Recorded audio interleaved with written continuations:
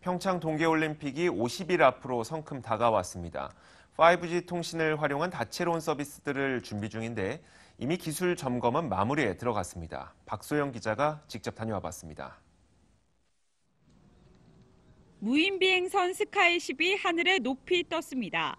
이내 도로를 주행하는 connected 버스를 촬영하고 고화질 영상을 TV 화면과 단말기에 전송합니다.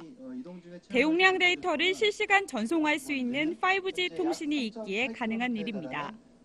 평창 동계올림픽에서 세계 첫 5G 시범 서비스를 선보일 KT는 네트워크 점검에 공을 들이고 있습니다. 특히 5G 관제센터의 경우 음성 명령으로 장비를 점검하고 장애에 대응할 수 있도록 인공지능을 접목했습니다. 더불어 올림픽 최초로 LTE를 도입해 LTE보다 진화된 무선망을 선보일 예정입니다. 올림픽이 개최되는 평창과 강원, 강릉 일대에 약 870개의 장비가 설치돼서 완벽한 무선 품질을 확보하고 있고요. 특히나 기능적으로 어드밴스된 LTE, LTA를 실질적으로 운용하여 크로스 컨트리 경기를 실감나게 볼 수 있는 omni view 기술도 즐길 거리입니다. 경기장 곳곳에 5G로 연결된 고화질 카메라를 설치하고 관람객이 직접 원하는 영상을 선택해 앱으로 감상하는 방식입니다.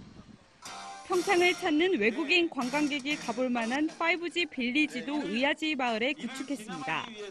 이곳에서는 증강현실을 이용해 마을 특산물을 구매하거나 드론과 가상현실 등 5G를 활용한 혁신 서비스를 체험할 수 있습니다. 세계 최초의 5G 빌리지가 선보임이 되면서 외국인들에게 우리나라의 그 IT 기술을 홍보하는 데 큰 도움이 될 것으로 예상하고 있습니다. 어느덧 50일 앞으로 다가온 평창 동계올림픽.